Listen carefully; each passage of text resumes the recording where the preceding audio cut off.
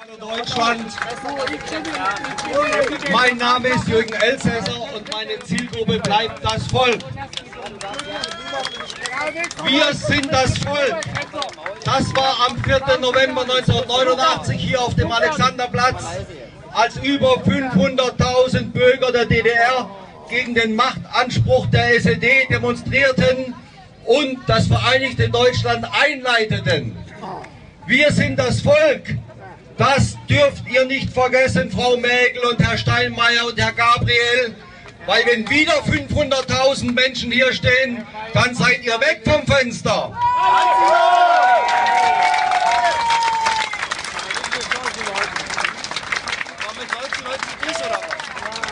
Wir leben in der neuen Weltordnung und wir werden gegeneinander gehetzt von den Eliten. Inländer gegen Ausländer, Christen gegen Muslime, die ganze Nationalitäten und die Eliten beabsichtigen, uns in unserer Meinungsfreiheit zu unterdrücken. Das passiert nicht mehr so primitiv wie früher mit totalem Verbot. Der neueste Trick ist das politisch korrekte Sprechen, wo bestimmte Worte verboten sind. Aber wir können uns die Worte nicht verbieten lassen. Das Wort, das Wort Volk lassen wir uns nicht verbieten, denn das Wort Volk ist die Basis für Demokratie und ohne das Wort Volk können wir die Demokratie nicht weiterentwickeln. Wir lassen uns auch das Wort Zionismus nicht verbieten und lassen uns nicht einreden, die Kritik am Zionismus sei gleich Antisemitismus. Das Gegenteil ist wahr. Wer vom Zionismus nicht reden darf, muss auch vom Faschismus schweigen. Also reden wir über den Zionismus und lassen uns nicht von den Scharfrichtern der neuen Weltordnung das freie Wort verbieten.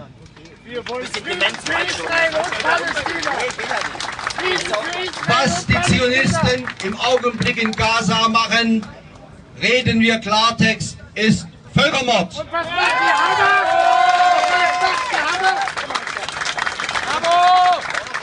Und wenn Frau Merkel gestern sagte, Israel hat das Recht auf Selbstverteidigung, dann frage ich Frau Merkel, besteht dieses Recht darin, jenseits der Grenze Kinder, Frauen und Alte und Zivilisten zu Hunderten aus der Luft abzuschlachten? Israel hat wie jeder andere Staat das Recht auf sichere Grenzen. Aber was aufhören muss, ist, dass Israel beständig immer wieder die Nachbarn überfällt. Kein Staat hat so oft das Völkerrecht gebrochen wie Israel. Kein Staat ist so oft von der UNO verurteilt worden. Aber es geht doch beständig weiter. Und es ist eine Schande, dass Frau Merkel die sogenannte Verteidigung von Israel als Teil der deutschen Staatsräson definiert. Es ist ein Verbrechen, dass Merkel deutsche Waffen, insbesondere atomwaffenfähige U-Boote, an Israel liefern und wir das auch noch bezahlen mit unserem Steuergeld. Diese Politik diese Unterstützung für das zionistische Regime muss aufhören. Frau Merkel soll den Frieden in Palästina unterstützen, das heißt einen unabhängigen, freien Palästinenserstaat unterstützen.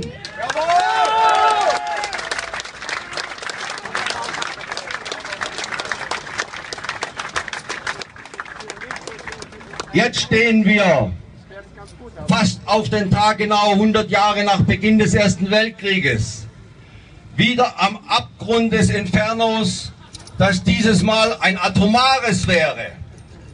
Und wie die Schüsse in Sarajevo zum Vorwand für das große Schlachten 1914 genommen wurden, so könnte es jetzt passieren, wenn wir nicht verdammt aufpassen, dass der Abschuss der malaysischen Passagiermaschine vorgestern als Vorwand für den Dritten Weltkrieg dient. Wie sind wir an diesen Abgrund gekommen? Die Antwort ist klar. Es war die NATO und insbesondere waren es die USA. Man hat den friedlichen und berechtigten Protest in Kiew im letzten Dezember aufgestachelt zu Brandschatzung und Bürgerkrieg. Und Obamas Europaabgeordnete Victoria Nuland hat selbst zugegeben, dass die USA 5 Milliarden Dollar in diese Aufhetzerei investiert haben. Unter dem Motto Fuck you EU. Mit putschistischen Methoden ist eine neue Regierung in Kiew durch Bruch der Verfassung durchgesetzt worden.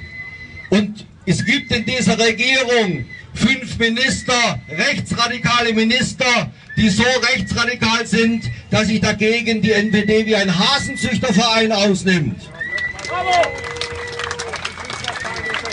Diese Kiewer Junta führt Krieg gegen das eigene Volk in der Ostukraine. Und es war der Kiewer Verteidigungsminister, sogenannte Verteidigungsminister, der Anfang Juli gesagt hat, in den letzten Tagen seien über 1000 sogenannte Separatisten von seinen Truppen getötet worden. Er war noch stolz darauf. Das ist der Weg zum Völkermord. Das ist NATO-Faschismus. Und Deutschland muss aussteigen aus der Unterstützung dieser mörderischen Regierung in Kiew.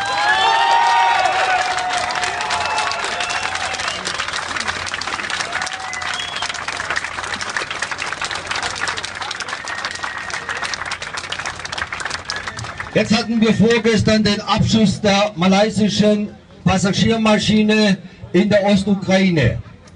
Fast 300 Menschen sind getötet worden. Wo ist die Trauer um diese Menschen? In unseren Medien lese ich keine Trauer, sondern ich lese nur Missbrauch dieser Toten, die verwendet werden zur Aufhetzung für einen neuen Krieg gegen Russland mit noch viel, viel mehr Toten. Das ist schändlich.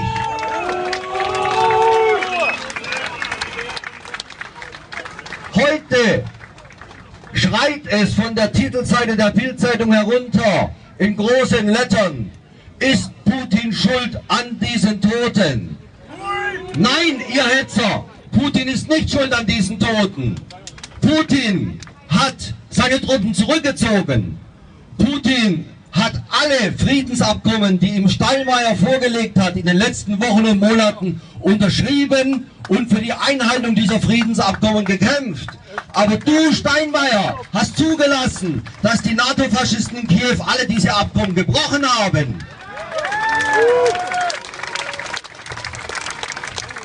Steinmeier ist die Friedenspfeife von Obama und er macht die Musik für die Kriegsvorbereitungen der USA. Was den Abschluss im Konkreten angeht. Liebe Leute, wir hier sind ja nicht auf den Kopf gefallen. Die meisten von uns haben doch mit einer solchen False Flag Operation gerechnet. Denn die USA haben doch Angst, dass Europa bei diesem Schlachten nicht mitzieht. Und die USA haben Angst vor der Entfremdung Deutschlands im Zuge der neuen Spionageaffäre. Und genau in dem Augenblick kommt das. Da muss man doch misstrauisch werden. Und wieder ist es eine Maschine der Malaysian Airways wie vor vier Monaten. Was ist da eigentlich los? Interessant sind folgende Umstände. Ein Kiewer Fluglotse, ein Mann spanischer Herkunft, hat die Beobachtung gemacht, dass die Passagiermaschine bis kurz vor ihrem Abschuss von drei ukrainischen Abfangjägern begleitet wurde. Im britischen Guardian konnte man gestern lesen, dass eine ukrainische Militärfrachtmaschine über, direkt über der malaysischen Maschine geflogen ist, wohl um das Feuer vom Boden anzuziehen. Und interessant auch der Umstand, dass Putins Präsidentenmaschine auf dem Rückflug vom BRICS-Gipfel in Südamerika die Flugroute der malaysischen Maschine gekreuzt hat, die 38 Minuten nach Putins Maschine Polen an derselben Stelle überflogen hat. Ist da vielleicht bei den NATO-Putschisten in Kiew irgendein Ziel durcheinander gekommen? Im Augenblick lässt sich die Sachlage nicht vernünftig klären. Aber ich will an besorgniserregende Parallelen in der Vergangenheit erinnern. Wie war es 1980? Abschuss des italienischen Jumbos über der Insel im Mittelmeer Ustica mit über 80 Toten. Jahrelang wurde behauptet, das war Gaddafi, um die Stimmung gegen Libyen anzuheizen. Aber mittlerweile hat sich herausgestellt, dass die sogenannten Verschwörungstheorien von Anfang an wahr waren. Es ist aktenkundig und gerichtsnotorisch, dass es die NATO damals in Ustica war. Schande über die NATO.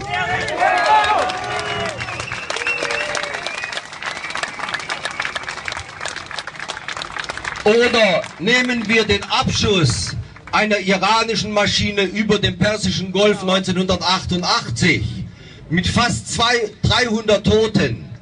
Das war ein amerikanisches Kriegsschiff. Das ist erwiesen. Die Amerikaner haben sich nicht entschuldigt und natürlich auch keine Entschädigung gezahlt. Schande über die USA.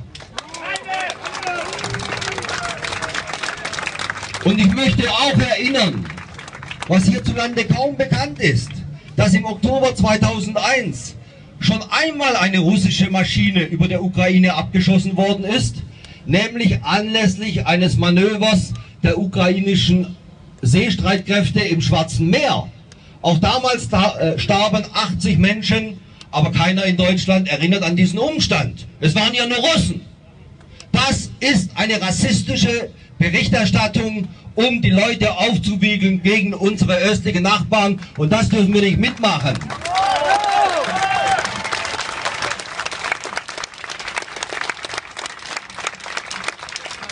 Und Leute,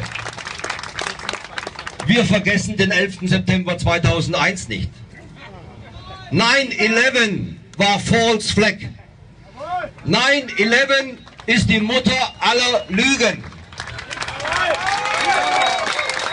Damals wurden 3000 Menschen, großteils amerikanische Staatsbürger, pulverisiert, um einen Vorwand für die globalen Kriege der Bush-Administration zu schaffen.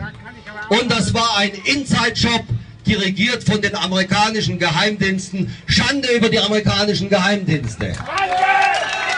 Und wer so etwas macht, wie am 11. September 2001, dem traue ich auch den Abschuss einer Passagiermaschine in der Ostukraine zu. Das sind Verbrecher, die machen alles, wenn es nötig ist.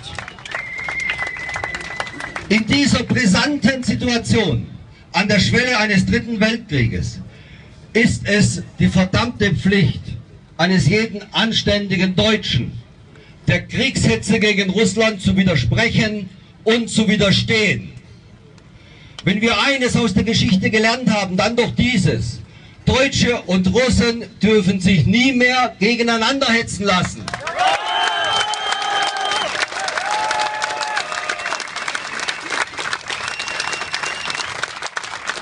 Immer, immer wenn Deutsche und Russen zusammengestanden sind, egal ob unter Bismarck oder Willy Brandt, ging es nicht nur beiden Völkern gut, sondern auch dem ganzen Kontinent.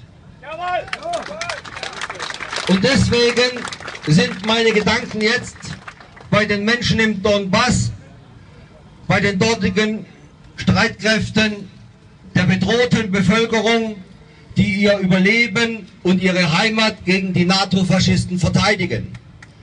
Insbesondere grüße ich Margarita Seidler, eine Deutsche, die sich den Selbstverteidigungskräften angeschlossen hat und die jetzt im Kessel von Donetsk auf die nächsten Angriffe wartet. Alles Gute, Margarita und die Deinen. Berlin grüßt Donetsk. Nemze Firuski, Druschbei mir, gemeinsam für den Frieden.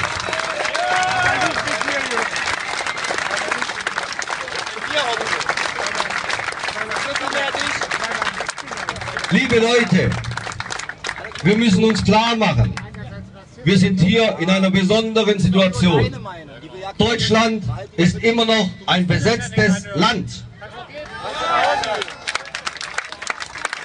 Und die Besatzungsmacht sind die Vereinigten Staaten von Amerika. Und diese Besatzungsmacht häuft auch noch Hohn und Spott auf unsere Schande, indem sie nicht nur uns alle abhören, sondern auch noch ihren treuesten Vasallen, die Kanzlerin und auch noch Agenten in unsere Ministerien schicken. Dieser erbärmliche, schändliche Zustand muss aufhören. Deutschland muss wieder souverän werden.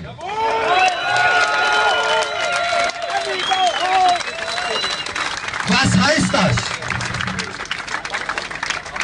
Sofortiger Rückzug der deutschen Hilfstruppen von den amerikanischen Fronten weltweit. Nicht nur Afghanistan, auch Balkan, auch Afrika, auch das Horn von Afrika. Ursula von der Leyen, Flinten Uschi, bring unsere Jungs nach Hause.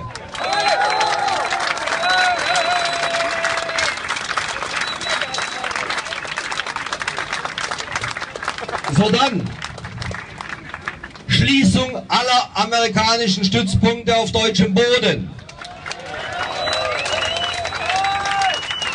Insbesondere der Aggressionsdrehscheibe Rammstein, aber auch der Drohnenmordkommandos in Stuttgart, Jukom und Afrikom.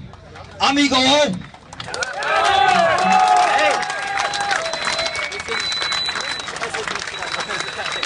Und aktuell vielleicht am leichtesten zu vermitteln, Verbot aller amerikanischen Geheimdienstaktivitäten auf deutschem Boden, schließt die Filialen von NSA und CIA.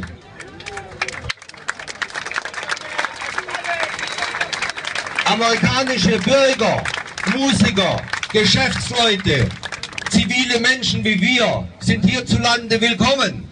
Aber das ganze Militär- und Geheimdienstgesocks, da sage ich nur, macht den Grauschuhtanz, Ami go home.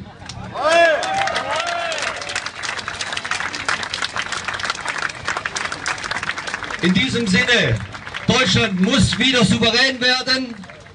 Wir brauchen statt der EU einen Bund gleichberechtigter Völker und Nationen von Portugal bis Vladivostok. Wir sind das Volk und wir setzen das durch. Ich danke euch.